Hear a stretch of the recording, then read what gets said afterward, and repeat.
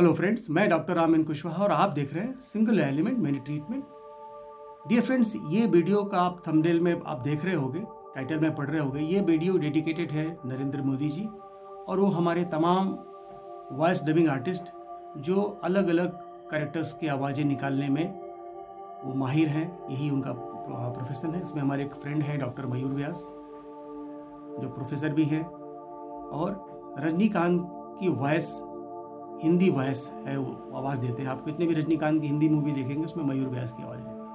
Doctor Mayur Vyas. हमारे अच्छे friend भी हैं। दूसरा, मुझे दो जुलाई को मैं संसद में नरेंद्र मोदी का भाषण सुन रहा था। तो उसमें बैकग्राउंड से बहुत ज़्यादा आवाज़ें आ रही थी। विपक्ष बहुत शोर कर रहा था और मोदी जी चिल्ला चिल्ला के बात कर रहे थे, बोल, ज़ोर ज़ोर से बोल रहे थे अपनी बातें। बीच में उन्होंने किसी को मंद बुद्धि बोला। मंद बुद्धि किसको बोला? तो मैं ध्यान से जब सुना मंद बुद्धि नहीं, वो बालक बुद्धि किसी को बोल रहे थे। बीच में पानी भी पी रहे थे, बोल भी रहे थे। आप ये वीडियो देखिए। कल अग्निवीर को लेकर सदन में झूठ बोला गया। कल यहाँ भरपूर असत्य बोला गया। कि एमएसपी नहीं दिया जा रहा।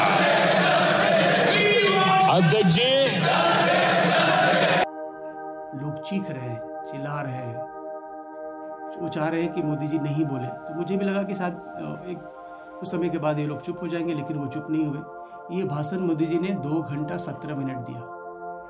तो मेरे दिमाग में आया विचार कि इस तरह के लोगों के लिए कुछ डेडिकेशन, कुछ बनाया जाए, कि अभी उनको पाँच साल और इसी पीच पे बात करनी है, इसी माहौल में बात करनी है तो गले में तो तकलीफ़ होगी। फिर हमारे जो डबिंग आर्टिस्ट हैं। मैंने एक वीडियो देखा द मोटर माउथ पे।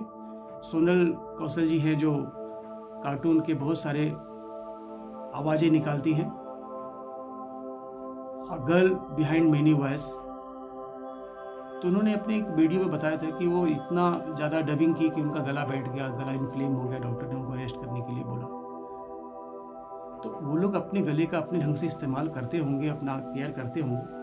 लेकिन योग में एक प्राणायाम है, उसको बोलते हैं उज्जयी प्राणायाम। उज्जयी प्राणायाम का अगर अर्थ देखेंगे तो एक ब्रेव विनिंग सोल्जर का जो जो जस्तर होता है उसको बोलते हैं उज्जयी।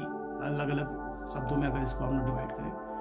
दूसरा, आम बोलचाल की भाषा में एक विशेष प्रकार की ध्वनि निकालना।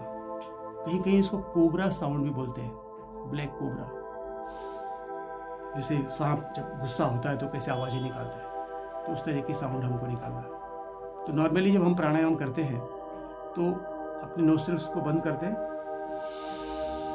तो ये फ्रिक्शन नोस्टल वॉल से आ रहा है फ्रेंड लेकिन जब हम उज्जयी प्राणायाम करते हैं तो फ्रिक्शन यही जो फ्रिक्शन नाक में हो रहा है, ये थ्रोट में होता है। इसको समझना थोड़ा तिकी है।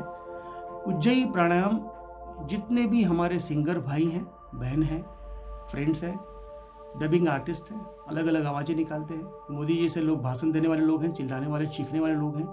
उनको गले का बड़ा ख्याल रखना पड़ता है।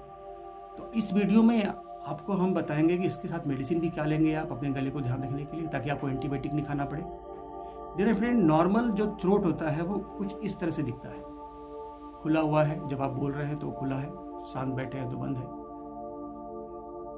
दूसरा, जब इन्फ्लेम होता है तो वो कुछ कुछ इस तरह से दिखता है।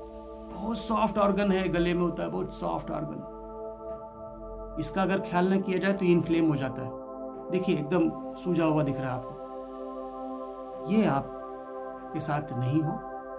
आपका गला मज़बूत रहे स्ट्रांग रहे वोकल कॉर्ड स्ट्रांग रहे तो उसके लिए आपको करना है उज्जयी प्राणायाम। तो डियर फ्रेंड इसको आप ध्यान से देखिए। आराम से किसी भी आसन में बैठना है। सुखासन में बैठे, वज्रासन में बैठे, पद्मासन में बैठे स्पाइन को इरेक्ट रखें। आपका ये ज्ञान मुद्रा में आप हाथ रखें।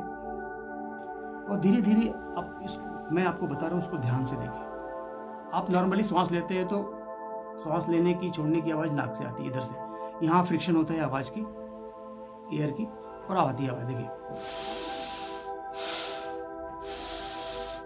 ये आवाज़ यहाँ से आ रही है, यहाँ फ्रिक्शन हो रहा है। इसी फ्रिक्शन को आपको थ्रोट में अनुभव करना है, देखिए।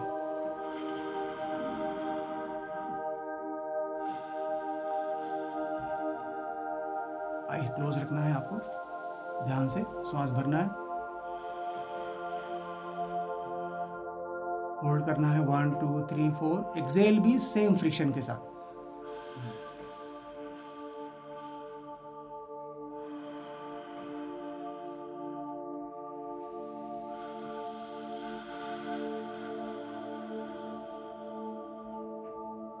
जब आप इनहेल करेंगे तो थ्रोट में आपको ठंडक का अनुभव होगा, इसका मतलब आप सही कर रहे हैं। धीरे धीरे अभ्यास करते करते एक आपको ध्वनि निकालनी है। एक विशेष प्रकार की ध्वनि, जैसा मैंने बताया, इसका अर्थ होता है विशेष प्रकार की ध्वनि। देखिए।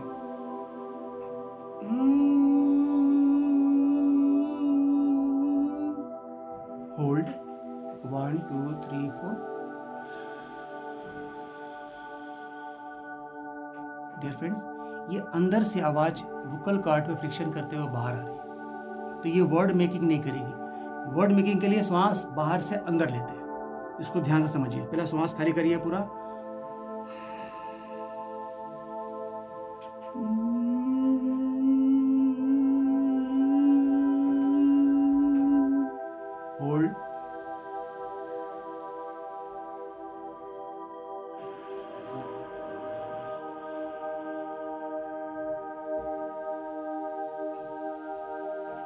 फिर से देख लीजिए।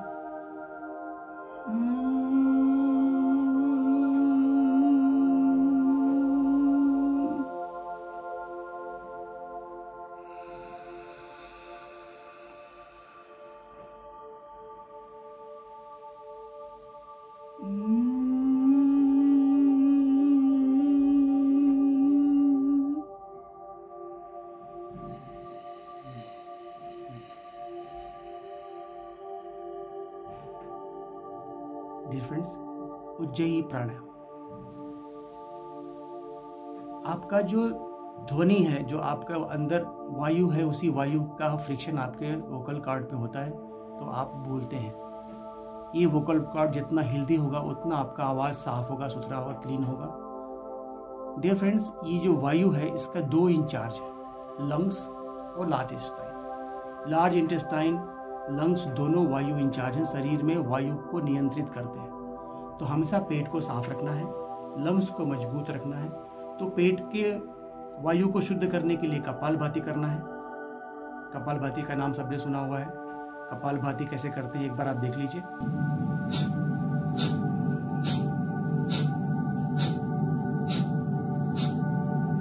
जो हवा आपके लंग्स में है, इसको शुद्धि के लिए आपको करना है भस्त्री inhale slowly and exhale little bit forcefully देखिए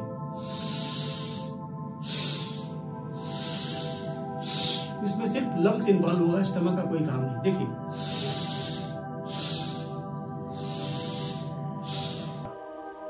lungs to breathing dear friends अपने घर में आप होम्योपैथी का दो मेडिसिन रखिए। जस्टिसिया मदर टिंचर और ग्रिंडेलिया मदर टिंचर अलग अलग रखिए या उसको मिक्स करके रखिए। आपको लगता है कि आपका थ्रोट का इस्तेमाल अब ज़्यादा हो रहा है तो आप सुबह शाम एक आधे कप गुनगुने पानी में 20 drop 10 drop grindelia mother tincture का और 10 ड्रॉप जस्टिसिया मदर टिंचर का मिक्स करिए और सुबह शाम आप लीजिए उसको। आपको गले में कोई तकलीफ़ नहीं होगी। आपका लंग्स भी अच्छा होगा, गला भी अच्छा रहेगा। आपकी आवाज़ बैठेगी नहीं और आप अपना काम ठीक से कर पाएँगे। डियर फ्रेंड्स अगर ये वीडियो आपको अच्छा लगा हो तो अपने जो भी इस तरह के सिंगर्स हैं डबिंग आर्टिस्ट हैं, उनको आप शेयर करें और वीडियो को लाइक करें, चैनल को सब्सक्राइब करें। इस वीडियो को अंत तक देखने के लिए आप सभी का धन्यवाद। Thank you and God bless you all.